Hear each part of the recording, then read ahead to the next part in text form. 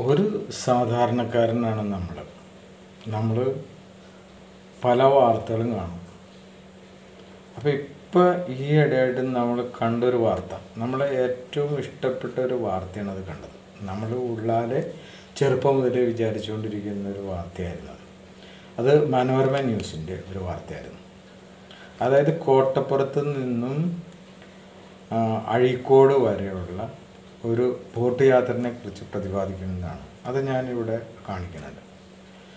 അപ്പോൾ അത് നിങ്ങൾ ആദ്യം കണ്ടു നോക്കുക. ഈ കേരളത്തിൽ ഇഷ്ടംപോലെ കടൽ തീരങ്ങളുണ്ട് ഇഷ്ടംപോലെ കായലുകളുണ്ട്. കുട്ടനാടുണ്ട്. കൊച്ചിക്കായലുണ്ട്. വെമ്പനാട്ട് കായലുണ്ട് അതുപോലെ തന്നെ നമുക്ക് അതിരപ്പള്ളിയുണ്ട് ഹൈ റേഞ്ചുകളുണ്ട്. എത്രയോ സുന്ദരമായിട്ടുള്ള കാഴ്ചകളാണ് നമുക്കുള്ളത്. നമുക്ക് സാധാരണ രീതിയിൽ ചിന്തിച്ചു കഴിഞ്ഞാൽ ഇവിടെയൊക്കെ നല്ല പ്രമോഷൻ കൊടുത്തുകൊണ്ട് അതായത് കൊച്ചി കൊച്ചിയിലാണെന്ന് വിചാരിക്കുക ആ മറൈൻ ഡ്രൈവിന്റെ അവിടെ ഇഷ്ടംപോലെ ചെറിയ വള്ളങ്ങൾ മാലിദ്വീപിലെ പോലെ അല്ലെങ്കിൽ ചെറിയ ഇതായിട്ട് ഒരു രണ്ട് മൂന്ന് ആൾക്ക് താമസിക്കാനുള്ള രീതിയിൽ അവർ നിറയെ ആകാശത്ത് നിറയെ വിമാനം വേണമെന്നല്ല. ആ കായലിൽ മുഴുവനും ചെറിയ ചെറിയ ബോട്ടുകൾ നല്ല ആധുനിക ബോട്ടുകൾ നല്ല സംരക്ഷണത്തോടുകൂടിയ ബോട്ടുകൾ.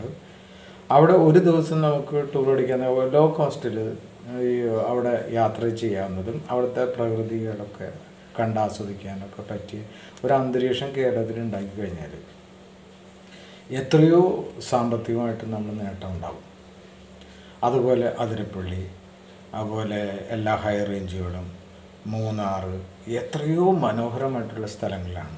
ഒരു ദിവസത്തെ ട്രിപ്പെങ്കിലും അറേഞ്ച് ചെയ്യാൻ അതിനുള്ള പ്രൊമോഷൻ കൊടുക്കാൻ. അങ്ങനെ ചെയ്താൽ ഈ കേരളം തന്നെ നമ്പർ വൺ ആവും ഇന്ത്യയിൽ. പക്ഷെ അത് നമ്മൾ ഉപയോഗിക്കണില്ല എന്നുള്ള ഒരു വിഷമം നമുക്കുണ്ട്.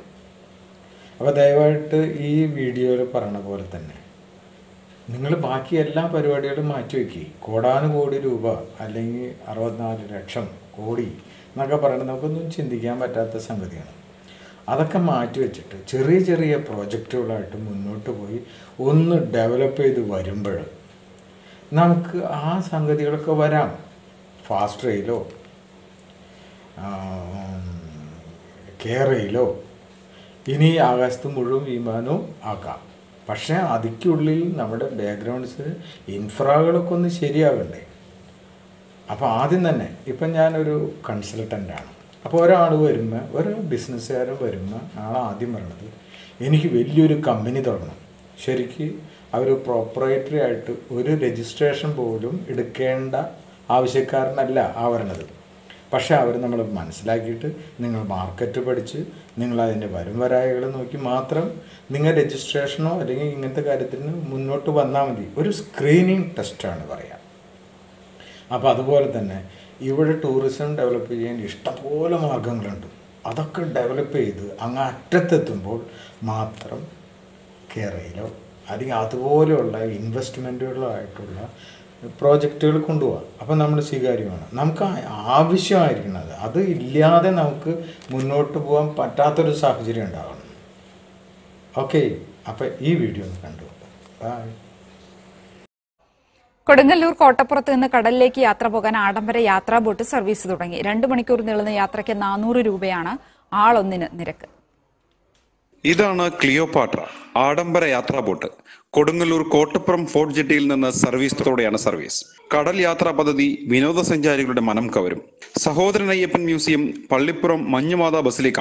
അഴീക്കോട് പുലിമുട്ട് മുനയ്ക്കൽ എന്നീ പ്രദേശങ്ങളിലൂടെ കടന്ന് കടലിലേക്ക് സഞ്ചരിച്ച് കോട്ടപ്പുറം ഫോർട്ട് ജെട്ടിയിൽ തിരിച്ചെത്തും. A C non A C ഇരിപ്പിട സംവിധാനമുണ്ട്. ഗൈഡ് ഗായകർ വിനോദ പരിപാടികൾ എന്നിവയുമുണ്ട്. ഇതിനൊപ്പം ലഘുഭക്ഷണവും യാത്രക്കാർക്കായി നൽകും. എല്ലാവിധ സുരക്ഷാ സംവിധാനങ്ങളും യാനത്തിലുണ്ടാകും. നൂറു പേർക്ക് യാത്ര ചെയ്യാം. ടിക്കറ്റ് നിരക്ക് ആൾ ഒന്നിന് നാനൂറ് രൂപയാണ്. അഞ്ചു വയസ്സിന് താഴെയുള്ള കുട്ടികൾക്ക് യാത്ര സൗജന്യം. രാവിലെ ഒൻപത് മുതൽ വൈകിട്ട് ആറര വരെയാണ് സമയം.